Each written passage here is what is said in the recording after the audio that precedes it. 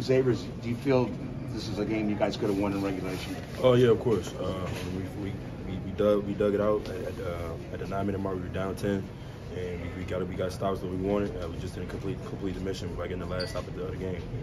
The, the, the last two possessions, basically, the last two possessions of regulation. They, you know, Mike obviously lets you guys just play through that. Just what did you want in the first one, and, and obviously at 5.4 at the end to try to make something happen. Just what happened on each, each of those possessions? What did you want to happen, and what? Uh, I mean, I, I, can't, I ain't going to describe the real play, but I mean, we just trying to get the ball down, down to Trayce and make make make him make him um, make make Liddell foul or, or make a play at the rim for Trayce, and, and we didn't get it down there, and we got we got a turnover. And, You, you guys, sorry, sorry. go ahead. I was going to say, you guys have talked a lot about trying to figure out how to convert some of these close losses into wins. Are there? I know it's early after this one, but are there are there things that you can kind of point to across a lot of these close losses that you can sort of say, I guess, consistent themes, basically? Uh, I mean, just the defending and, and, and, and defending without, without fouling, and, and that, that's that's the main thing. Uh, we got we got to learn how to defend without fouling again, and put, keep putting teams at the line in the in, the- in, uh, into the four four minutes, last four minutes of the game. Did you get, hold on, hold on. Okay, Jeff.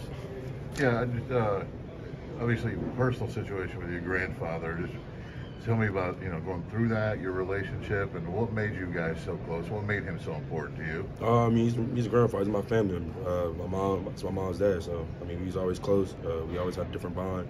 Uh, he, he always talked to me. Uh, I always had a conversation with him, and I, I, I miss him, but I really don't want to talk about it that much. Kevin.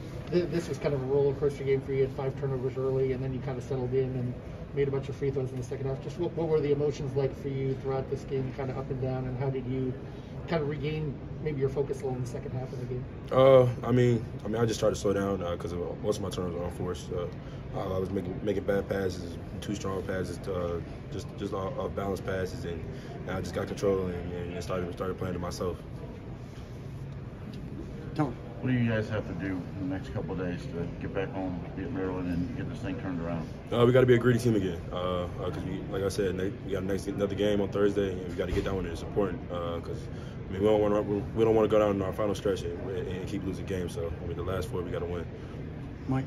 What was it like in the locker room? Are guys staying positive, and who's taking the lead? Uh, yeah, we are taking the lead because we all we all know uh, what we want to do because nobody in the locker room has, has went to the tournament. So I mean, we still on the mission. Last question. I meant to ask you this on the last shot in regulation. It looked like you might have gotten fouled. Did you? Did you? Uh, I mean, I ain't gonna talk about it. Uh, ref didn't call it, so ref, ref didn't call it.